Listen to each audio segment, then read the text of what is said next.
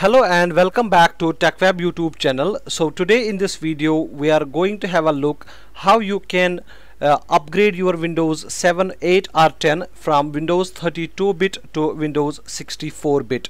So let's get straight to the video but before uh, starting I would like to advise you you need to check whether your computer is supporting your computer architecture is supporting Windows 64-bit you can just right click on my computer to check the configuration. If it's saying that's uh, 64-bit based operating system so you can upgrade it. So let's get straight to the video now and if it if this video helped kindly subscribe our channel and hit the bell icon. So now let's get straight to the video. I'm just going to open the Google Chrome and you can open any browser and type media creation tool Windows or Microsoft and you can can just search for if you're using for Windows 7 you need it for Windows 8 or you need it for Windows 10 so you can uh, click on that one. So I'm going to use for, uh, Windows 10 64-bit I need. And then you can just click on the first link download ISO file but make sure uh, the website is for Microsoft so right click on click on there and it will be redirecting to this page. So it will show you update now and then you need to select on download tool now. So just click there and it will take some time approximately a minute time. It depend upon your internet connection speed. So it is approximately 18 MB in size and once it will be downloaded uh, you need to uh, click on that. And after clicking on that it will take some more time to run and so we need to wait uh, approximately couple of minutes or couple of seconds.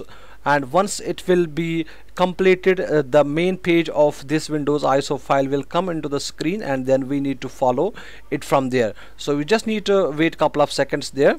And now it's just showing windows sign there windows logo. So you need to wait couple of more seconds and here we go. So I will just close this browser from there.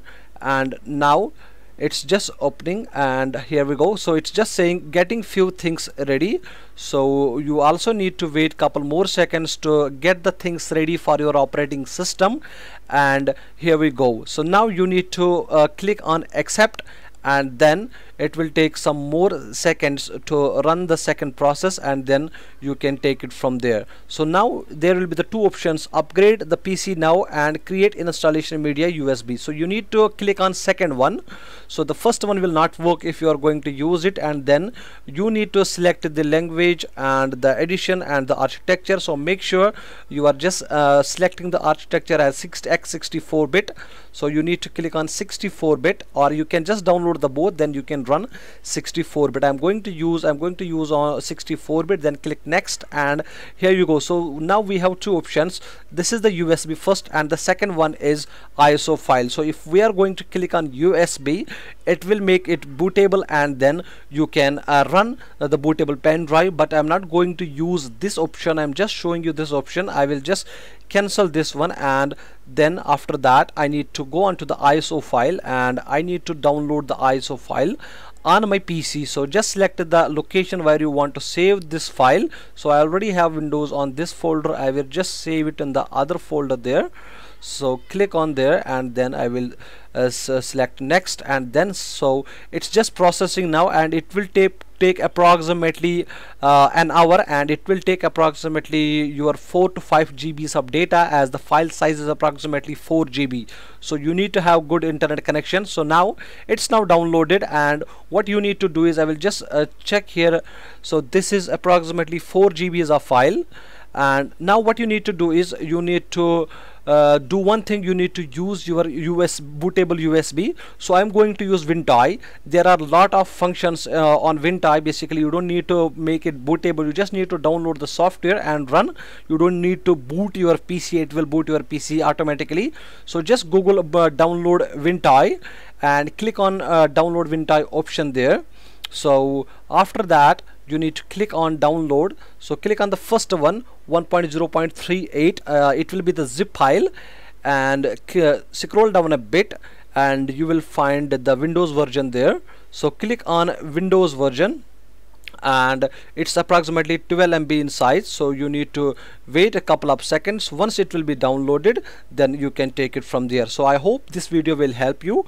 And if you have any questions you can ask me in the comments and I will try to respond your comments. So now it has been downloaded and uh, you need to extract the file. So I have already extracted the file here. So you just need to extra click on extract here. So this option will come and then there will be the application. So you need to right click there run it as administrator. Else you can just click on that and open. And after that you need to insert the boot uh, insert the uh, USB or pen drive. And after that uh, so you need to click on uh, this one uh, click here and then you need to click uh, yes. And I already have bootable I already have done this process. So it was just I was showing you. So once you will done it uh, then you need to copy the windows. So just click on windows ISO file which you have downloaded and paste it in the uh, pen drive. And after this step uh, what you need to do is then you need to boot your PC so just restart your PC uh, I will just do this one first of all. I will close these tabs from there and after that just give me a second. I'm just opening this one. So just right click there and you need to restart your PC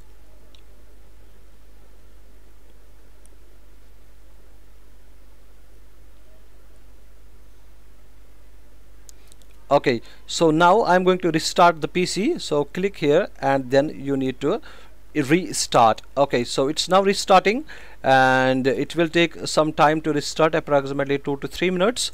Uh, so here we go. So you don't need to boot the pen drive. So it's now coming via Windows ISO file. So you just need to click there and it will redirect you to the other page.